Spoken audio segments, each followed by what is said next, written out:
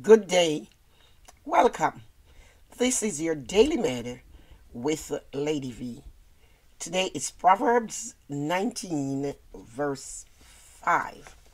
It says, A witness who lies will be punished, that liar will not escape. In continuing in the book of Proverbs, we will see today that God hates lying. He hates a false witness. The Bible says, in fact, it is an abomination unto him. So in society, do we often see people say things, perjure themselves, things that are punishable by the law?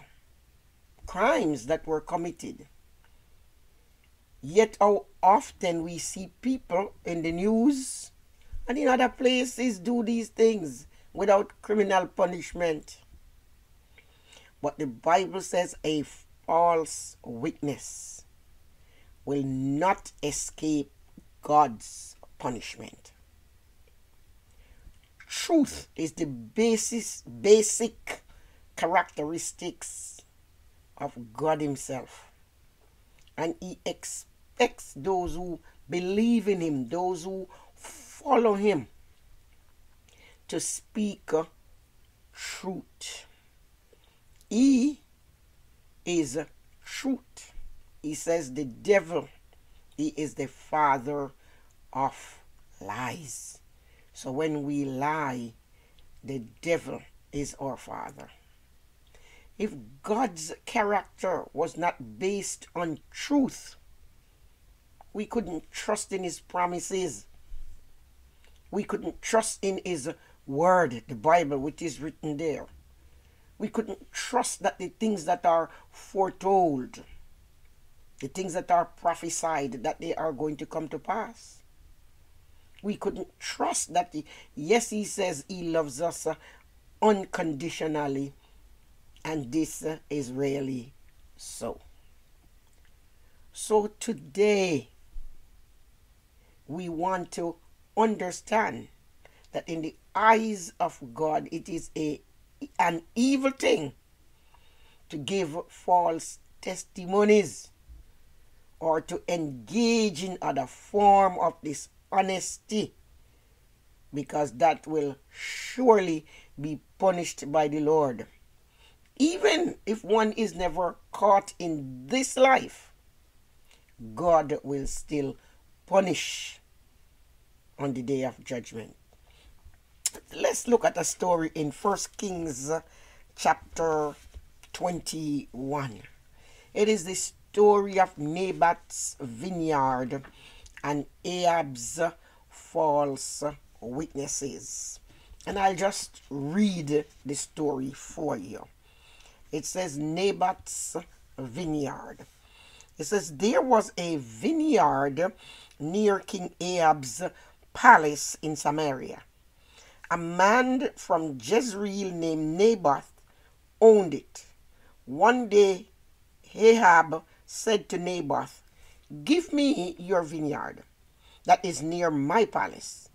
I want to make it a vegetable garden.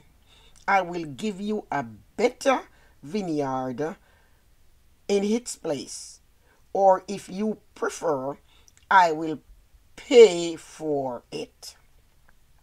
Naboth answered, By the Lord, I will never give my land to you. This land belongs to my family. So Ahab went home, hungry and upset, because Naboth told him I will not give you my family's land. Ahab went to bed, turned away from everyone, and refused to eat. His wife Jezebel went to him and asked him, Why are you upset? Why do you refuse to eat? Ahab answered, I asked Naboth from Jezreel to give me his vineyard. I told him that I would pay him the full price, or if he preferred, I would give him another vineyard, but he refused to give it to me. Jezebel answered, But you are the king over Israel.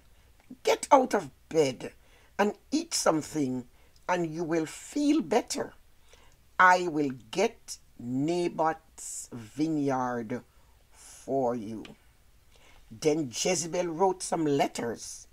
She signed Ahab's name to them and uses his seal to seal the letters. Then she went to the elders and important men who lived in the same town as Naboth. This is what the letter said. Announce that there will be a day of fasting when the people will eat nothing. Then call all the people of the town together for a meeting. At the meeting, we will talk about Naboth. Find some men who will tell lies about Naboth. They should say that they heard Naboth speaking against the king and against God. Then take Naboth out of the city and kill him with stones. So the elders and important men of Jezreel obeyed the command. The leaders announced that there would be a day when all the people would eat nothing. On that day, they called all the people together for a meeting. They put Naboth in a special place before the people. Then two men told the people that they heard Naboth speak against God and the king. So the people carried Naboth out of the city and killed him with stones. Then the leaders sent a message to Jezebel that said Naboth had been killed. Then Jezebel heard this. She said to Ahab, Naboth is dead. Now you can go and take the vineyard that you wanted. So Ahab went to the vineyard and took it for his own. Remember, whatsoever is done in secret, God says He will allow such thing to be heard and to be seen in public. So as we look at the other verses, it says, Then the Lord spake to Elijah, who is the prophet. Go to King Ahab in Samaria. He will be at Naboth's vineyard. He is there to take the vineyard as his own. Tell Ahab that I, the Lord, say to him, Ahab, you killed the man Naboth, and now you are taking his land. So I, the Lord, tell you this where the dogs licked up the blood of Naboth, they will lick up your blood as well. So Elijah went to Ahab. When Ahab saw him, he said, Well, my enemy has found me again.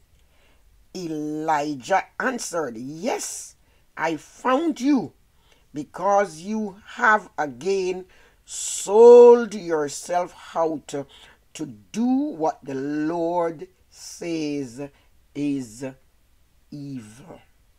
So, this is what he says to you I will make something bad happen to you. I will kill you and every male in your family. I will destroy your family just as I destroyed the families of King Jeroboam, the son of Nebat, and King Baasha.